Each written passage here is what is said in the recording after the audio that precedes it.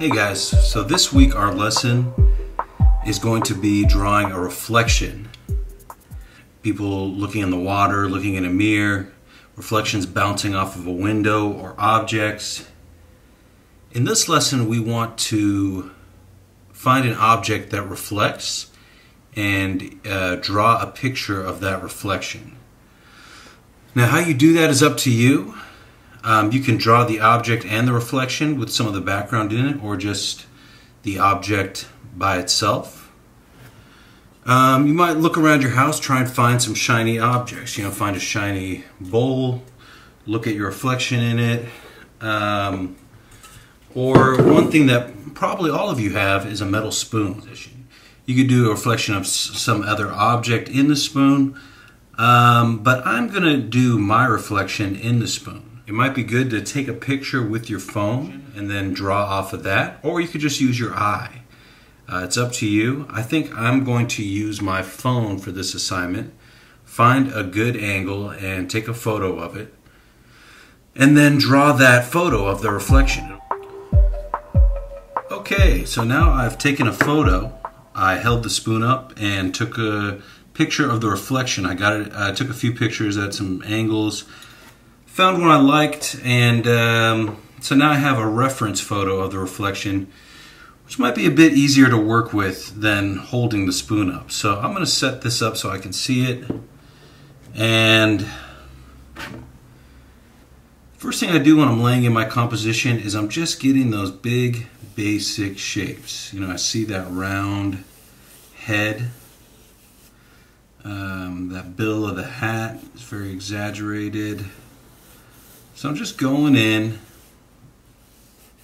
laying out the big details here. Not worrying about any, I'm sorry, the big areas here, not worrying about the details. I'll get to those later. Right now I just kind of want to map out my composition.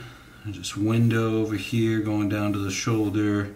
This window here really got bent by the spoon. That looks pretty cool. I'm going to add that in.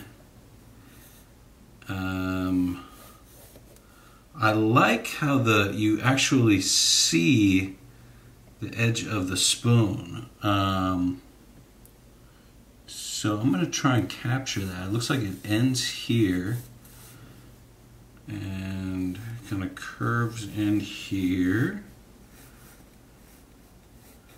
So I'm going to actually put the, the spoon in the composition. Wow, it works all the way off the page. A, so I'm going to have to beef this up, make this a little bigger. Hmm, okay, so I'm starting to get a feel for it. See, I'm just mapping in the big areas here. Got the window here. Let's get these fingers, kind of on the edge of the spoon, there's these fingers.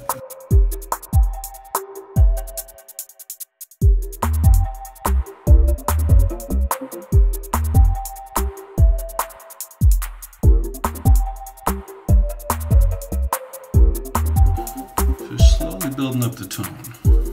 build it up a little more and try and move around and, and get that level of tone everywhere.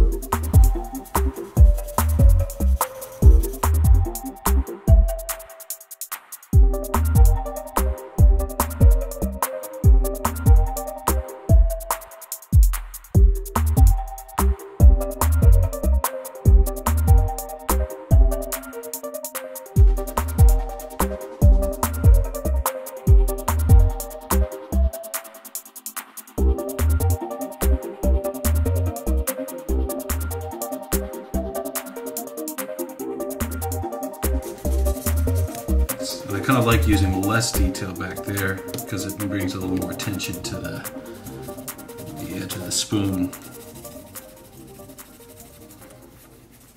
Which I kind of like. It looks like this shoulder actually goes off to the edge. So, you see as you're going, sometimes you see corrections you can make whole area is darker. I just haven't gotten to layering that tone down yet. I'll get there. I'll start doing that.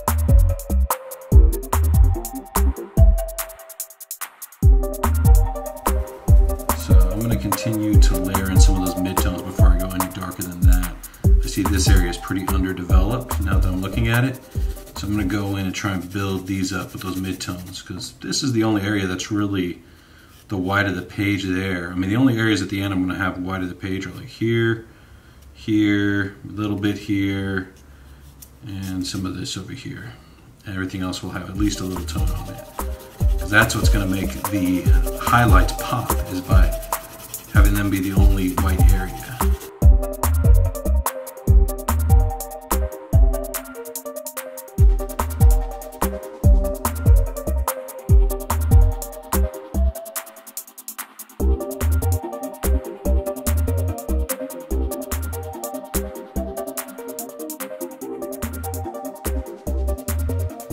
Okay, now I have a nice you know, layer of tone going. Uh, basically hit the whole area. So um, now I could really start kind of pushing it either darker or lighter. There's certain areas I might erase a little bit. Some areas I'm going to make a little darker.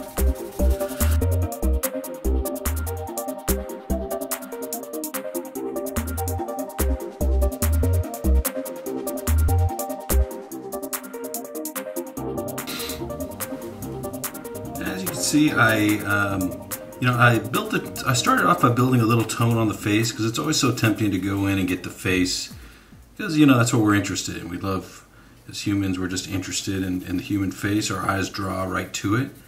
Um, so that's where I started layering my tone. Once I got it to a certain level, I, I was able to stop myself and build everything up to that level. So now everything's kind of got that level of detail with the different tones that are going on here. I kind of was able to build the rest of the page up to that level. So now I'm going to go back into the face and um, kind of take it up a notch with the, the level of detail that I'm getting.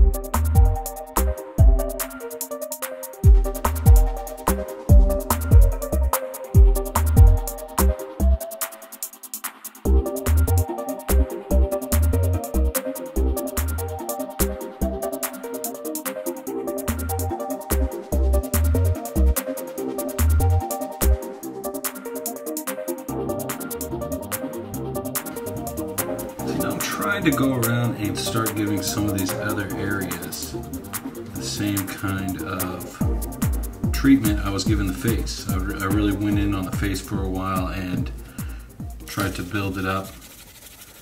And um, I felt like I could have kept going for a while, but you know, I want to um, start going back outside of the face and building up the areas around it, getting them up to that level. Some of the some other areas besides just the face to get that, that level of detail.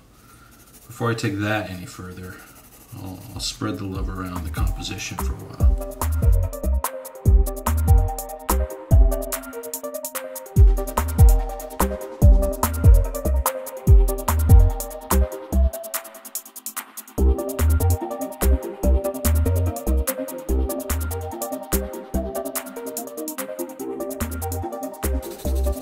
Beauty of these distorted images is if you decide to bend something one way or the other a little bit, it's going to look great because these are, they're not natural anyway. They're bent and, and uh, distorted um, in the reflection. So you can kind of play with it a little bit too as you're doing your composition.